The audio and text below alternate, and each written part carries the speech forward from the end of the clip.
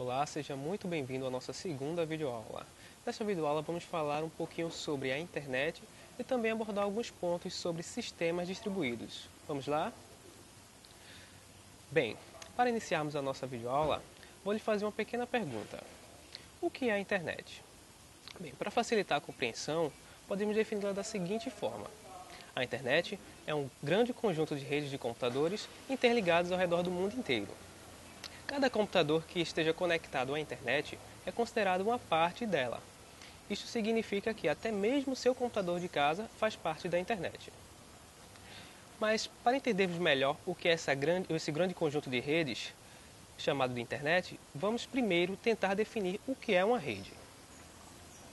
Bem, na informática, rede é a conexão entre dois ou mais computadores, interligados entre si através de cabos ou não, com o propósito de compartilhar recursos físicos e lógicos. Para entendermos melhor esses conceitos, basta apenas fazer algumas comparações. Se é uma rede, então existem ligações entre si. Para existir uma ligação é necessário no mínimo dois pontos, ou seja, é necessário no mínimo dois computadores para que haja uma ligação.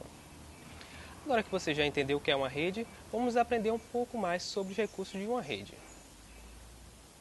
Como já falei, o objetivo de uma rede é compartilhar recursos físicos e ou lógicos. Como exemplo de recursos físicos, podemos citar as redes empresariais, onde costuma se comprar apenas uma impressora por sala ou por bloco e compartilhar em rede com todos os demais computadores. Lembrando que hub ou switch é o equipamento que funciona como uma espécie de extensão com várias entradas para interligar os dispositivos. Já como exemplo de recursos lógicos, podemos citar programas de supermercados, como podemos ver também na imagem. Esses programas funcionam da seguinte forma: existe um computador chamado servidor de aplicação, onde é instalado o programa que será utilizado pelos computadores cliente. O servidor de aplicação cria uma plataforma de acesso para esses computadores cliente, dando acesso ao programa instalado, fazendo com que os computadores clientes funcionem mais livre, pois os recursos usados serão do servidor de aplicação e não do computador cliente. Agora que já sabemos o que é uma rede e os seus recursos, vamos aprender sobre alguns tipos de rede. Os tipos de rede mais usados e conhecidas são LAN, WLAN e WAN. Vamos começar entendendo o que é uma rede LAN. LAN significa Local Area Network ou rede de área local. As LANs são pequenas redes, a maioria de uso privado, que interligam computadores dentro de pequenas distâncias através de cabos são muito usadas para conexão de computadores pessoais e estações de trabalho, permitindo o compartilhamento de recursos e informações. Temos como exemplo clássico de rede local as LAN houses. A LAN house é constituído por vários computadores, recursos e informações compartilhados, como serviços de impressão, jogos, internet e etc. Já a rede WLAN é muito parecida com a LAN, tanto em sua estrutura como em seu funcionamento, a diferença da WLAN é a utilização da tecnologia wireless, ou seja, a rede WLAN dispensa o uso de cabos para sua conexão, pois os dispositivos que a compõem são interligados através de roteadores wireless ou access points, que dando uma comodidade e conforto aos usuários dessa rede. Bem, já a rede WAN é uma rede de longo alcance. Ela abrange uma grande área geográfica, podendo alcançar países ou até mesmo continentes. A rede WAN é composta por outras redes interligadas através da internet. Vamos entender agora os conceitos de intranet e extranet.